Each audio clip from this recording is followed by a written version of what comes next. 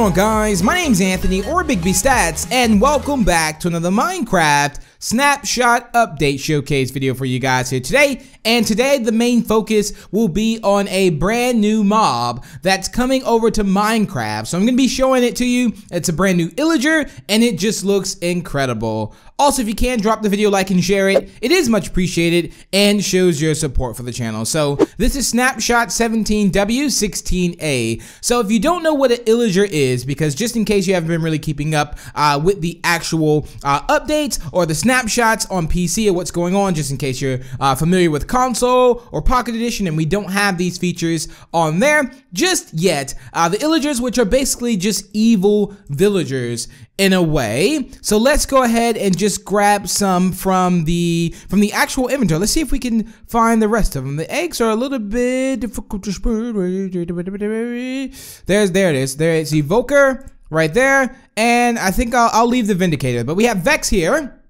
Which the Vex is just very scary. I must admit, this is probably one of the scariest uh, mobs I feel like in the game, uh, which I, am just kind of terrified for when that comes over to console. Then we also have the Evoker. So these are just your Illagers that spawn in. Of course, we do have uh, the Vindicator. So let's go. We can go ahead and spawn him up now, just in case you haven't seen him. There we have it. So they're pretty much just gray villagers, very very evil. And uh, I really want to take this one out just because it's just so.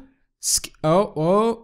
It's so super scary. I don't even want it to like kind of be around here. To be uh, on. Oh, come here. Wait, hey, hey. Stay still. There we go. There we go.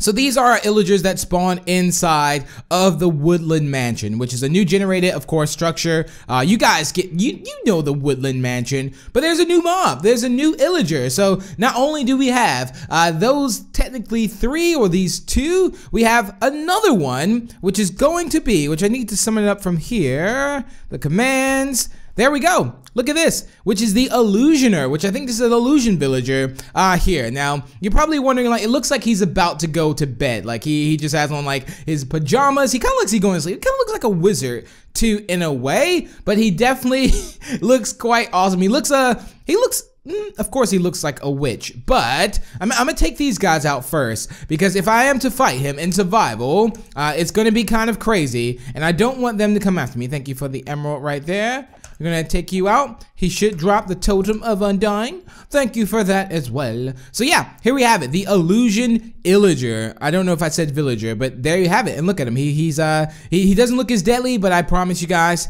he is deadly. So I'm gonna take a few steps back and I'm going to switch into survival now.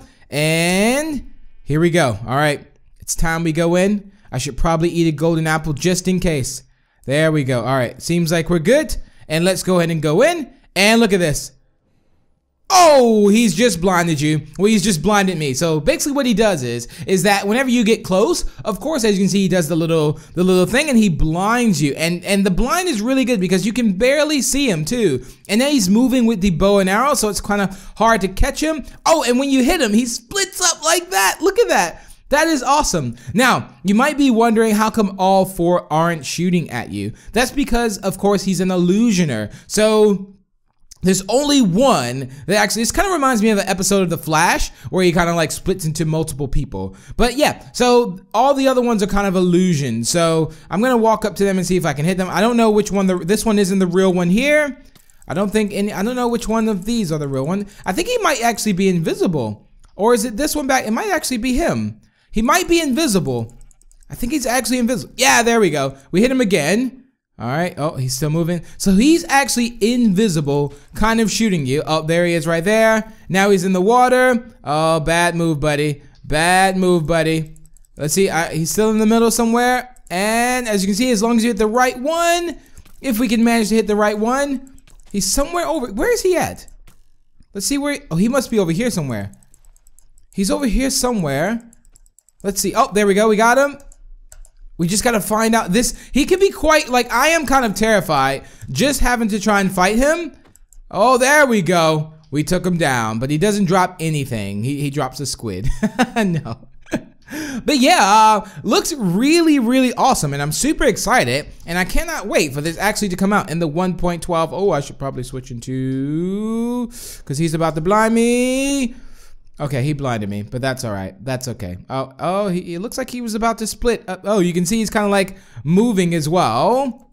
Let's see. Oh, I think he just split up just then. But yeah, looks really good. Again, I cannot wait to actually uh, be able to play this. Look for him inside the Woodland Mansion. But this is awesome. And I look forward to see the other mobs too that's going to be uh, in the update. But yeah, that's pretty much it for today's video, guys. I do hope you all have enjoyed. Remember to leave a like and share. And as you can see, I kind of look like a porcupine uh, now. but thank you all so much for watching. Feel free to share the video as well. And also subscribe to stay updated with the latest Minecraft news and more. And I will see you all in the next one. Bye!